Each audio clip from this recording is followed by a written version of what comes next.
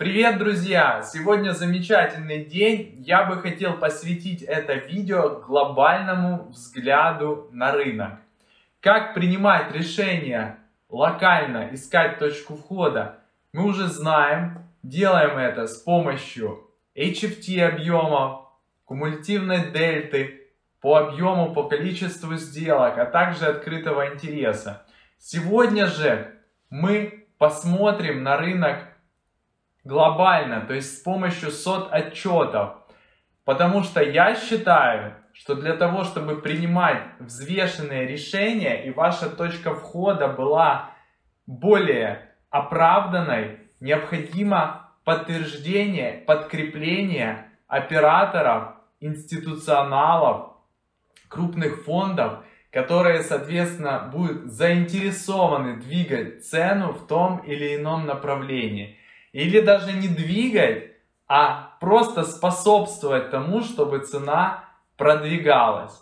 Итак, сегодня я рассмотрю те инструменты, где позиции разошлись, то есть максимальное расхождение между операторами, хеджерами и некоммерческими трейдерами.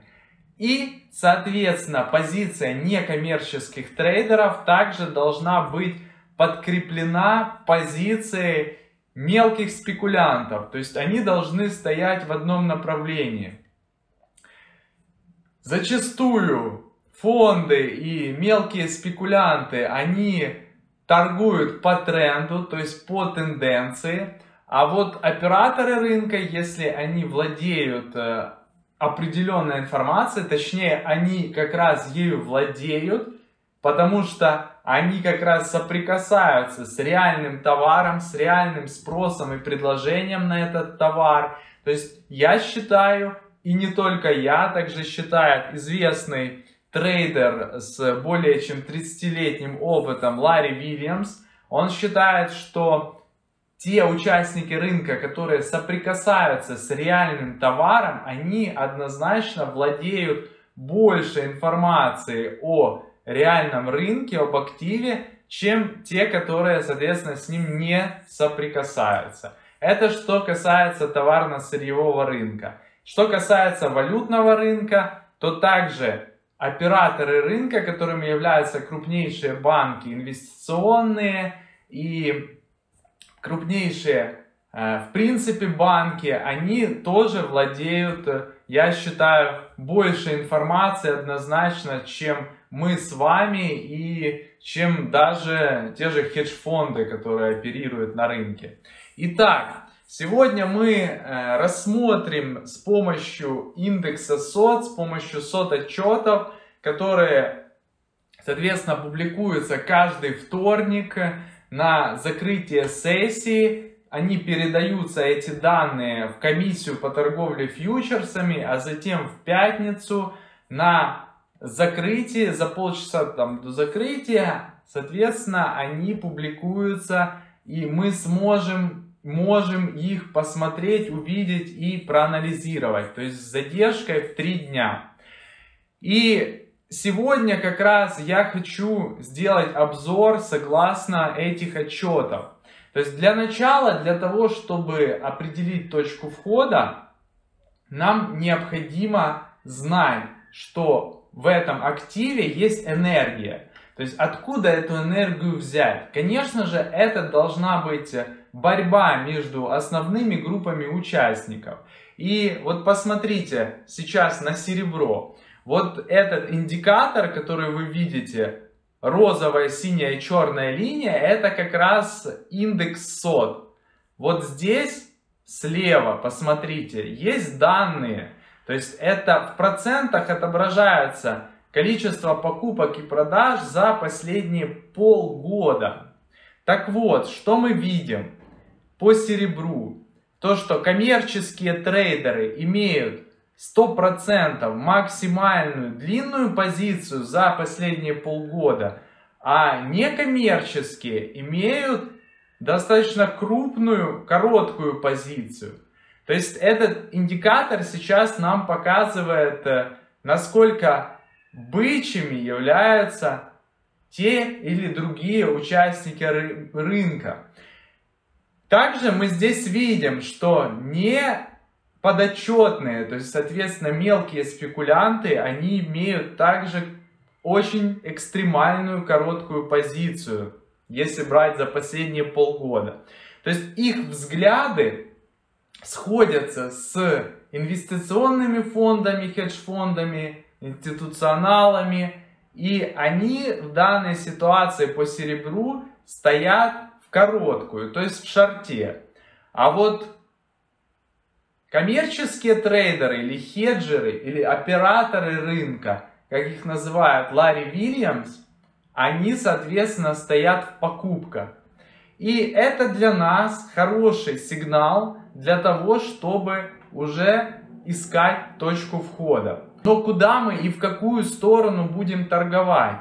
Конечно же, мы будем открывать свои позиции в сторону операторов рынка, в сторону тех участников, которые, собственно, и владеют максимальным количеством информации по рынку серебра. Итак, как мы будем смотреть, как мы будем еще анализировать? То есть мы будем смотреть агрегированный отчет по коммерческим и некоммерческим трейдерам. Что мы здесь видим? Вот здесь посмотрите, будут показатели по коммерческим и некоммерческим трейдерам и их изменение позиций, изменение лонгов и шортов. Так вот, здесь мы видим, что коммерческие трейдеры уменьшили свою шортовую позицию на 33%, а некоммерческие уменьшили свою лонговую позицию на 39% в этой области, после чего пошло снижение. Потому это не так мощно, как если бы это были новые лонги, но так как мелкие трейдеры и фонды резко вошли в зону продаж – я буду рассматривать покупки по серебру с целью 16. Почему 16? Потому что это источник, скажем так, снижения, который был 1 февраля 2019 года. И эта зона может выступить областью сопротивления. Потому когда будет точка входа, соответственно, я буду покупать и рассчитывать на то, что движение состоится в область 16. То есть, будет ли оно продвигаться дальше, неизвестно. Но, по крайней мере, это для нас будет точка выхода из наших лонгов. Итак, поехали дальше. А дальше у нас на повестке дня это австралийский доллар. Итак, австралийский доллар. Что мы видим? Здесь ситуация подобная. Тоже мы видим экстремальные шарты по некоммерческим и неподотчетным участникам. И также экстремальные лонги по хеджерам. В понедельник, вот 16.03 произойдет экспирация контракта, это тоже очень нужно учитывать. Но вот что касается сототчетов, так э, этот индикатор, этот показатель, он учитывает э, позиции по всем контрактам фьючерсным. То есть, если на одном контракте убывает и э, трейдеры перекладываются в следующий контракт, на следующем контракте, соответственно, прибывает. Потому он не чувствительный, э, скажем так, э, к экспирациям. Также он учитывает позиции по опционам, лонги и шорты. И очень информативный в такие периоды, потому что э, мы видим очень сильное падение открытого интереса, когда это происходит в период перед экспирацией. Также рост открытого интереса, если это происходит э, начало контракта, но это не чувствительно и не влияет на сот-отчеты, потому что сот-отчеты, они отображают общую позицию по всем фьючерсным контрактам и по всем опционным контрактам. Затем, что мы делаем? Мы переходим и смотрим агрегированный отчет.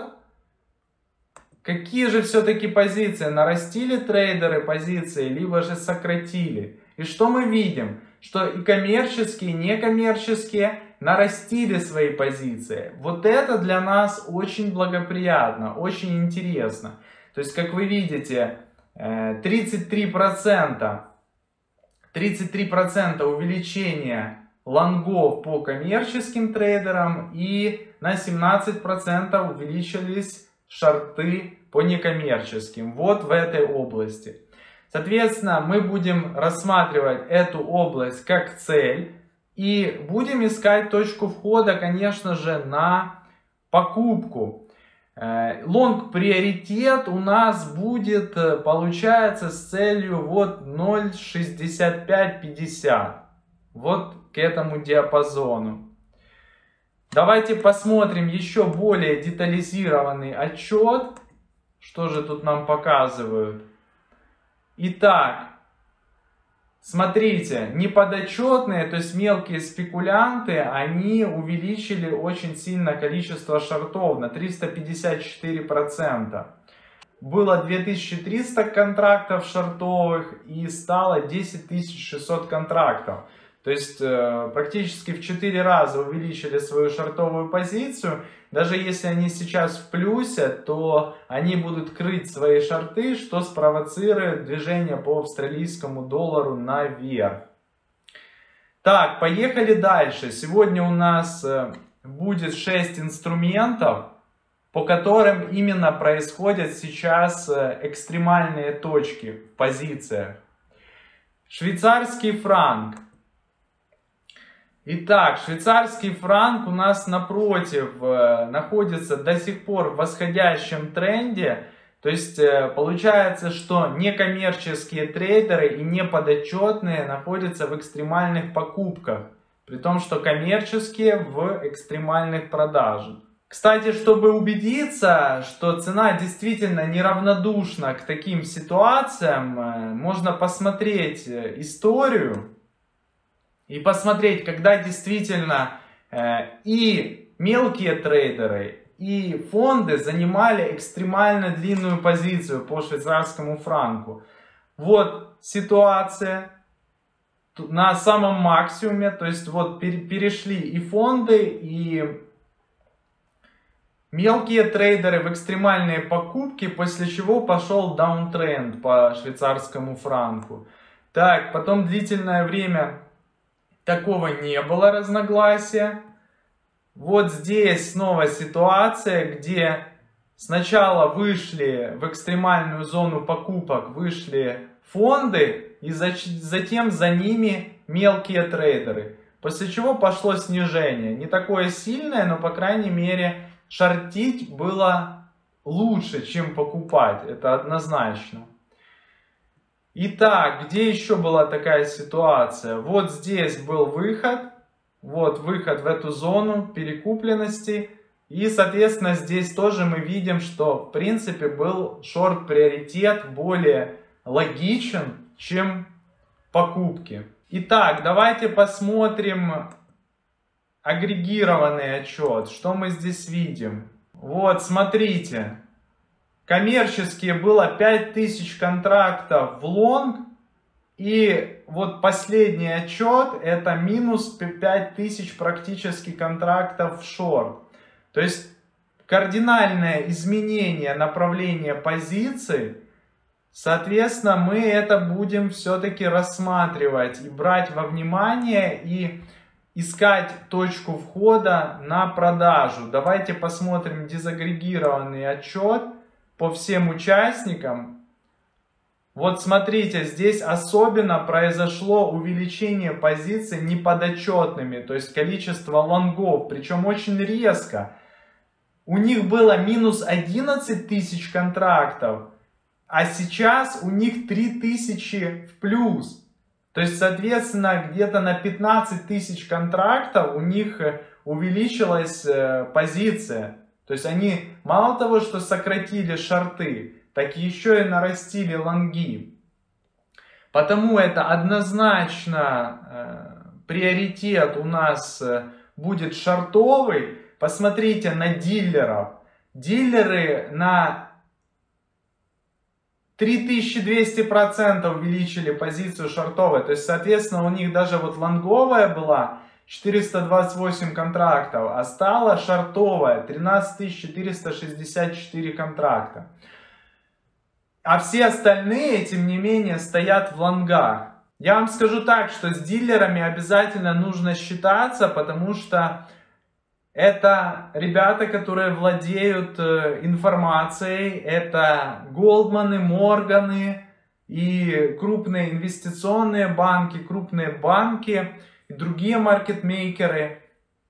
Потому очень часто, когда в пиковых значениях рынка они удерживают э, всю позицию фактически остальных участников, соответственно, это большая вероятность, что произойдет разворот на рынке. Это дает нам возможность склонять вероятность в нашу сторону, но, как говорит Линда Рашке, никто на этом рынке не знает на 100% куда он пойдет.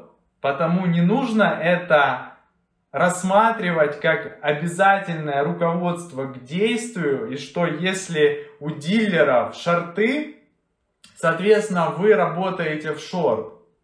Конечно, приоритет у нас шортовый, но мы ищем точку входа с наилучшим соотношением риск-прибыль. Для того, чтобы вот эту энергию использовать, э, так как крупные участники, они рассчитывают на более сильные движения. И потому, понимая эту ситуацию, мы ищем точку входа и затем ждем хороших целей, хорошего потенциала движения за счет этой энергии и за счет вот цели крупного капитала. И потому статистически мы получаем преимущество в таких ситуациях. То есть крупные деньги рассчитывают на крупные движения. И наша задача сделать ювелирный вход с хорошим соотношением риска и прибыли. Получается, по франку у нас все-таки шорт-приоритет на откате. Итак, поехали дальше. Канадский доллар.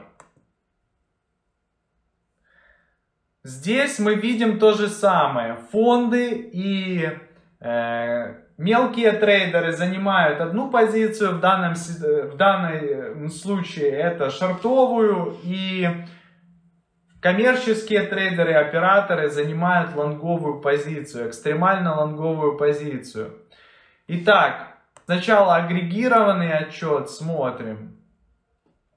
То есть длительное время позиция не меняется, но вот посмотрите здесь. вот коммерческие, у них была минус 61 тысяч контракт на шорт, некоммерческие 37 900 на лонг.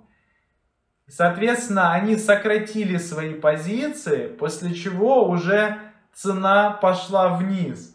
То есть э, большинство они не заработали, потому что преждевременно, опять же таки, закрыли позицию Потому мы ищем точку входа здесь на бай, но с меньшим энтузиазмом, так как все-таки э, это не новые позиции были открыты, а вот все это время происходило закрытие позиций. Вот в таком ключе. Итак, пятый инструмент у нас это платина. Платину очень сильно, очень активно покупали. И смотрите, достаточно длительное время, вот синяя линия, фонды, хедж-фонды, они набирали длинную позицию по платине и рассчитывали на более сильный рост. Плюс э, рост палладия, конечно же, подталкивал инвесторам к тому, что платина будет сходиться с палладием. И они покупали очень активно. Но э, он не оправдал ожидания и Случилась достаточно сильная коррекция. Вы видите, что это установлен минимум за, за два года, может даже и больше. И здесь уже вот ситуация поменялась абсолютно противоположную.